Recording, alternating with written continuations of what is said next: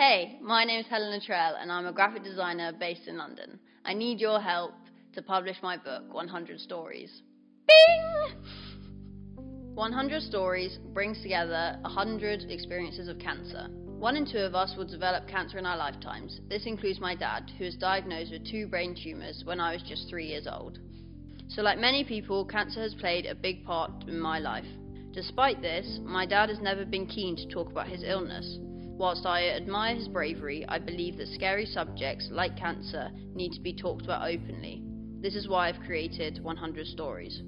What began as my graduate degree project at Central St Martin's has become my attempt to normalise the cancer conversation by narrating other people's stories. The book was made with support from the charity Cancer on Board.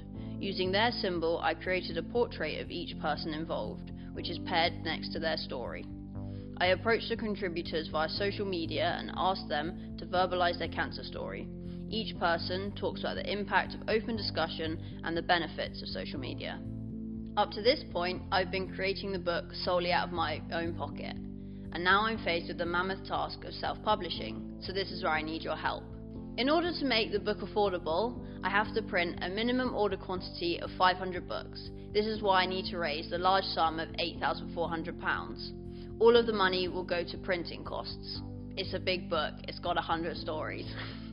By raising the money on Kickstarter, I'm providing you with the opportunity to buy the book before it is published. This means that everyone who pledges £20 or more will receive their own copy of 100 stories. There will also be other rewards like bookmarks, a single story, a signed copy of the book, and much more.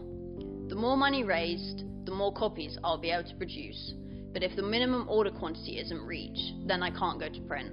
It's a large amount of money to raise, so if you can't help with the project financially, please spread the word. The more people that know about it, the more likely I am to reach my total amount, and then I can share 100 stories with you.